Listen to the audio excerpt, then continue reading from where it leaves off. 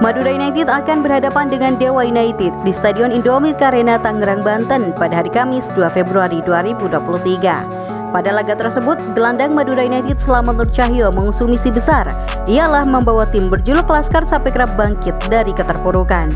Diketahui Madura United tengah berada di tren negatif dengan tidak bisa memetik sebiji poin pun dari tiga laga terakhir. Selamat berjanji akan berusaha mengakhiri hasil minor itu saat berhadapan dengan Dewa United. Selamat siang. Kalau masalah persiapan kita udah maksimal. Terus kita udah merupakan tiga kekalahan kemarin beruntun. Kita akan mulai hasil positif dari sini. Dan mudah-mudahan mudah-mudahan bisa kita menghasilkan poin dari Dewa.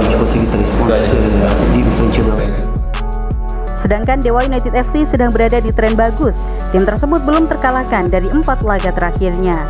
Septian Dwi Chandra, Syahid Mujtahidi, KTV Sport melaporkan.